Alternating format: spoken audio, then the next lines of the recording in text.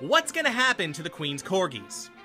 Queen Elizabeth II passing, many people are wondering what's going to happen to those four dogs of hers. The Queen was famous for her love of corgis. Most of the 30 dogs she had owned were corgis. When she passed, she had two named Muick and Sandy, a Dorgie, which is a Dachshund and Corgi mix, named Candy, and a Cocker Spaniel named Lissy. So where are these pups going to end up? Royal biographer Joe Little thinks they're going to go to royal staffers and then get adopted by Prince Andrew and Princess Anne. The New York Times reports that the new king actually prefers Jack Russell Terriers, so it looks like the Queen's pups won't be hanging around with him.